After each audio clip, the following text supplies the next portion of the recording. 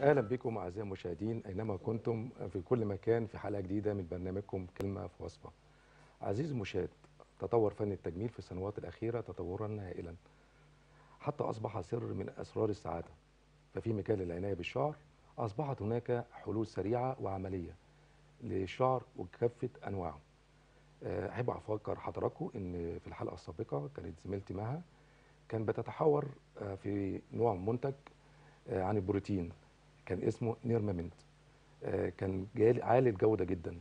آه، بس من موضوع حلقتنا النهارده هيبقى مختلف شوية. هنتكلم مع آه، منتجات العناية بالشعر مع البروتين.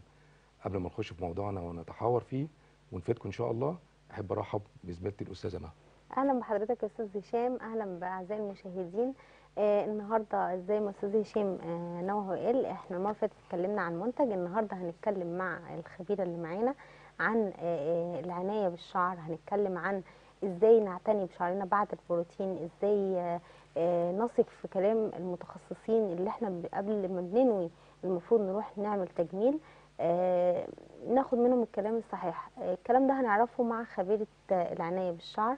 الأستاذة هبة مراد الشهيره بالامور أهلا بحضرتك يا أستاذة هبة. أهلا بيكي يا حبيبتي. آه طبعا آه، زي ما قلت لحضرتك كده أو زي ما حضرتك سمعتي معانا آه إحنا اتكلمنا عن منتج في السوق يعني عالي الجودة. النهارده عايزين بقى نتكلم على إزاي آه نعتني بشعرنا إزاي نهتم بشعرنا لأن معروف إن شعر أو تاج المرأة هو شعرها. أكيد. صح كده؟ طيب آه أنواع الشعر في البداية عشان مشاهدينا أكيد في ناس ما تعرفش إيه هي أنواع الشعر. أكيد. أنواع الشعر في شعر دهني وفي شعر جاف وفي شعر عادي وفي mix بقى آه، اللي هو دهني ال roots بتاعته بتكون دهنيه وباقي الشعر بيكون جاف. وفي شعر إفريقي تمام؟ آه، كل شعر بيختلف عن التاني. الشعور الإفريقية آه، بتبقى هي والدهنيه آه، بيستقبلوا البروتين بصعوبة. بيستقبلوا عموما أي حاجة بصعوبة وبيفقدوها برضو بصعوبة. مش سهل إن هم يفقدوا أي حاجة سواء بروتين أو أي مادة فرد. آه، الشعر الجاف بقى اللي هو ده طبعا بيكون جاف بسبب الصبغات أو ال- الفرد الكيماوي اللي هي حاجات خلاص سحبت خير الشعراية وبقت الشعرايه جافة جدا إتلاف تمام آه، ده بي بيشرب يعني بيستقبل أي حاجة بي بيشرب المادة بسهولة وبيفقدها برضو بسهولة. طب. بالنسبة لحضرتك حضرتك شرحت لنا أنواع الشعر طب تمام هل لكل شعر منتج مخصوص ليه مخصص؟ أكيد أكيد طبعاً. طبعا, آه. يعني الشعور المصبوغه اللي هي التلفة الهلكانة دي بيبقى ليها نوع خاص بيها بتبقى الترطيب فيه عالي جدا عشان نحاول نرجع للشعرايه حيويتها لأن هي كانت فقدت كل حاجة بسبب مثلا موضوع الصبغة. آه برضو بيبقى بسبب فرد كيماوي قبل كده آه فدي بيبقى ليها نوع معين خاص بيها. الشعور الأفريقي اللي هي ال- ال- العنيدة جدا دي ليها نوع برضو خاص بيها. آه الشعور اللي هي الضعيفة يعني هي مش معمول فيها حاجة وبيور بس بس ضعيفة. بيبقى ليها برضو نوع معين. كل نوع شعر ليه نوع بروتين أو نوع فرد معين خاص بيه. ما ينفعش نستخدم نوع واحد لكل الشعور. في شعر معين ممكن النوع ده يجيب معاه ما يجيبش مع النوع التاني. ممكن ده يفيده بس مع النوع التاني يضره.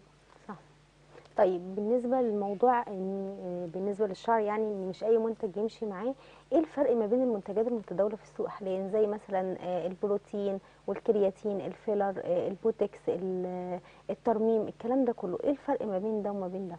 سؤال مهم ودايما أي عميله بتكلمني بتحاول تستفسر فبتقولي فهميني إيه الفرق بينهم.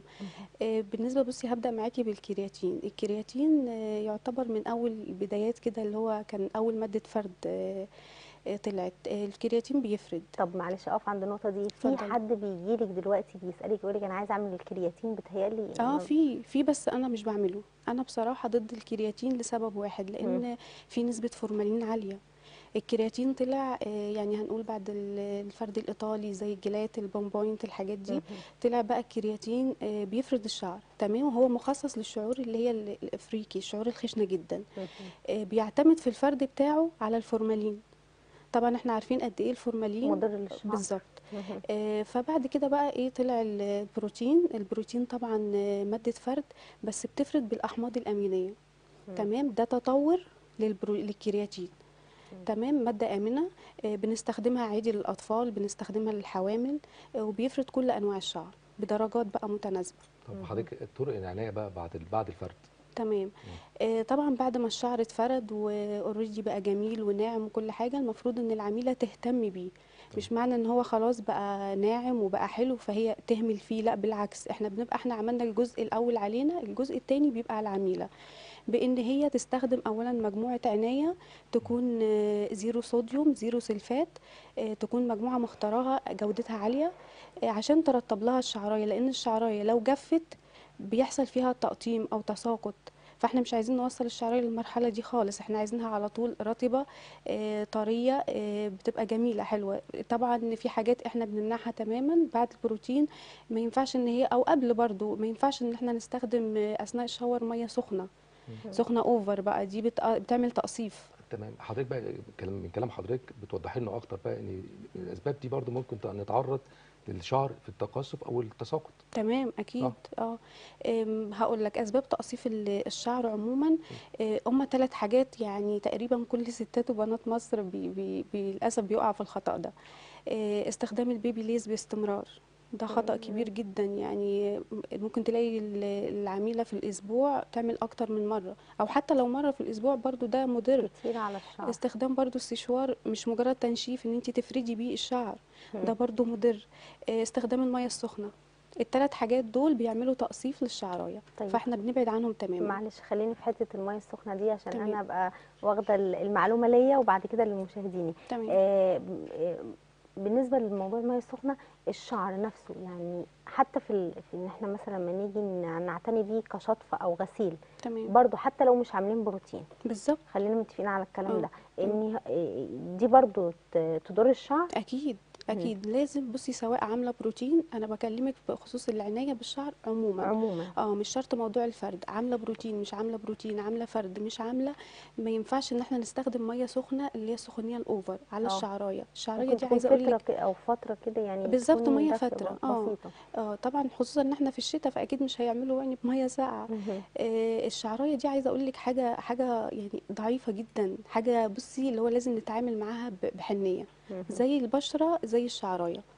تمام. طب أستاذ محمد بعد إذنك عايزين آه، تجهيزات كده للفيديوهات اللي معانا ال- الخاصة بأستاذة هبة. آه، أستاذة هبة بمناسبة آه، العناية بالشعر والميه السخنة اللي بنقول عليها أنا عشان أعتني بشعري من بداية اليوم كلميني بقى بشكل عام للعناية بالشعر من أول ما بصحى الصبح المفروض بعمل إيه آه، لشعري؟ تمام. بصي المفروض إن اولا الشعر يتسرح مرة على الأقل في اليوم. طب تمام؟ آه، حضرتك هنعرض بس الفيديو اللي لحضرتك أوكي، وعايزين حضرتك. تعلقي لنا عليه بعد. إذنك. تمام أوكي. دول اتنين مع بعض. اتنين. أه أه. تمام. آه، الأولانية دي آه، شعر بصي إفريقي. شعر أفريقي، إفريقي آه،. آه عنيد آه، عنيد جدا. آه، مبين عليه. آه. وتقيل. تقيل آه بيشرب البروتين أو بيستقبل عموما البروتين آم، بصي بصعوبة. وبيفقده بصعوبة طبعا. يعني. مش سهل إن هو يفقده بس شعراية صعبة ع- إفريقي بس اللي هي شديدة شوية. ال- التاني الشعر التاني ده ضعيف جدا. شعراية ضعيفة سمكها ضعيف آه، متهالكة. طبعا النوع المستخدم لل- للشعر الإفريقي الأولاني غير الشعر طبعا ال- الضعيف يعني استخدمت قدامي. دي نوع ودي نوع آه، آه، لكل طبعا. شعر المنتج بتاعه آه دي نوع ودي نوع طبعا مختلفين عن بعض خالص لأن تمام. الشعرية مختلفة عن التانية ما شاء الله ده هو كده ال- النتيجة ال- آه دي النتيجة النهائية بعد الغسيل من غير أي حاجة يعني ده الشعر ده كده ولا معمول مكوى مجرد تنشيف بس بسشوار لكن لسه ما كانش الشطف لا ده خل... ده. لا اتشطف اتشطف آه يعني ده كده تصوير نهائي بعد الغسيل آه. بالشامبو والماسك وكل حاجة تمام طيب آه آه، إحنا لو بنتكلم على البنوتة الأولانية اللي إحنا قلنا شعرها مم. تالف آه اللي آه، هو تالف. الإفريقي اللي هو ال- الخشن أو ما بيستقبلش المادة زي ما حضرتك قلتي تمام آه المواد القوية اللي في السوق بتنفع مع أي مع أي نوع شعر ولا لأ لازم لكل شعر منتجه لازم بصي مهما كان عندك أنواع كتير ومهما كانت أنواع حلوة لازم يبقى في حاجة اسمها تخصص. كل شعر مخصص ليه نوع. تمام؟ تمام. حضرتك ال- طبعا في أي مكان أو في أي حاجة الواحد بيستخدمها آه الإفراط فيها يبقى مضر. أكيد أكيد. أكيد طبعا. فتنصحي إيه بحضرتك بقى يعني في استعمال المنتج أو البروتين؟ البروتين بص عموما إحنا المفروض آه، آه، عملنا البروتين آه، نعمل مثلا يعني أنا لما تجيلي عميلة آه، عاملة شعرها مثلا آه، من شهرين ثلاثة وتيجي عايزة تعمل تاني آه، بعد ثلاث شهور أنا برفض. ليه بقى؟ ما هو مش كتره حلو.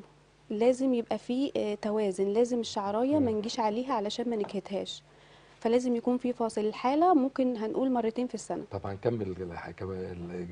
حضرتك بس بعد الفيديو التاني. دي حالة كان شعرها برضو قصير وكان زي ما نقول نوعية الشعر نفسها خشنة. خشنة وعايزة أقول لك ده بيعتبر بصي اللي هو ميكس من شعرين يعني شعر مصبوغ مهلوك اللي هو الجزء اللي تحت. يعني الصبغة اللي فيه دي كانت من قبل ما نعمل البروتين؟ آه تمام. آه أنا على فكرة مش بعمل صبغه وضد الصبغه أصلا. ما أنا لأ ما أنا ده أنا سيبيني الموضوع الصبغة ده أنا هسألك برضو فيه لأن في ناس كتير بتحب تغير بالصبغة خلينا آه. مع الفيديو اللي معانا ونرجع لموضوع الصبغة تمام. دي النتيجة بعد ال بعد الغسيل النهائي آه. بعد الغسيل النهائي. آه. ده شعر ضعيف ده شعرية ضعيفة جدا جدا. بس ما شاء الله يعني شوفي بعد ما شاء بعد الله. النتيجة بقت تحفة ده بقى شعر آه، بصي عنيد ده شعر خيالي مم. أنا بطلق على الشعور اللي هي اللي زي دي شعر خيالي مم. الشعر ده آه، يعني صعب في كل حاجة صعب في تطبيق الجلسة صعب في أول ما بنبدأ معاه آه، وصعب جدا في إن هو يستقبل المادة بس ما بيفقدهاش بسهولة مهم. يمكن ده ميزته الشعر نوعية الشعر آه، ده آه، هي دي آه. ميزته بس إن هو ما بيفقدش المادة اللي خدها بسهولة بالظبط. يعني ممكن لو مثلا محتاج إن الشعر يتعمل في الطبيعي أو شعر طبيعي يتعمل مرتين في السنة مثلا آه. لا ده يحتاج مرة واحدة بس في السنة آه فده يمكن. ده اللي بيفيده تمام. طيب آه، أستاذة هبة بالنسبة لموضوع آه، آه، الصبغات بقى تمام آه، حضرتك بتقولي أنا ضد الصبغات.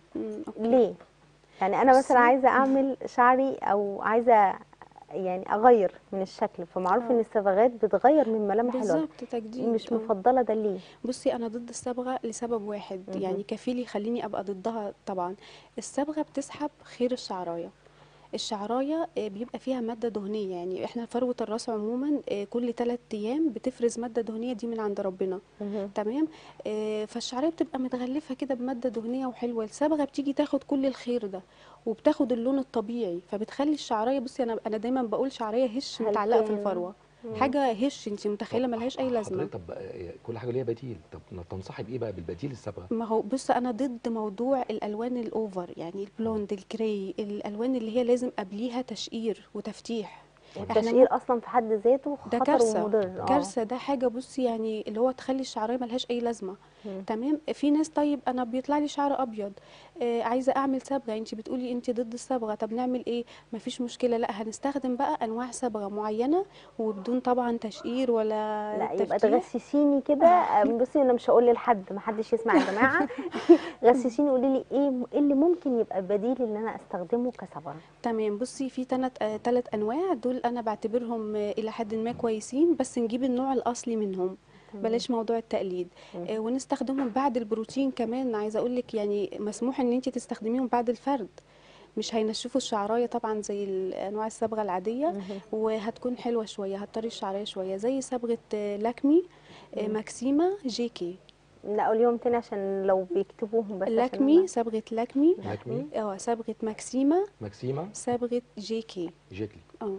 تمام. طيب بالنسبة لدول يعني ممكن يكون أضرارهم بسيطة جدا على الشعر آه، غير. الصبغات الأساسية. تمام. آه أنا أنا نفسي بجد يعني إن إن كل البنات والستات يعرفوا إن التشقير آه، ده كارثة في حد ذاتها. يا ريت نبعد عنه. المهم بصي هو في ناس تقول لك أنا بحب التغيير بحب التجديد.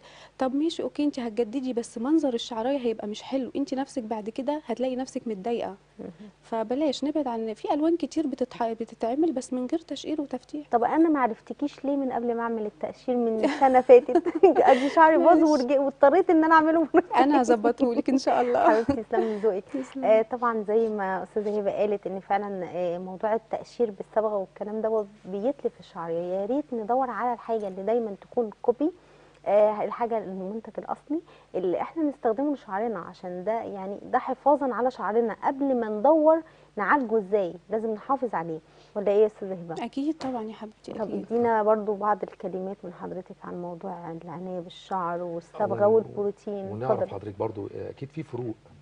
كل ما في كل منتج بيبقى في فرق مثلا من البروتين والفرق. أكيد أكيد آه. آه. بصي إحنا في ال ال ال في بروتين وفي آه، بوتكس وفي فيلر وفي بقى ترميم تمام.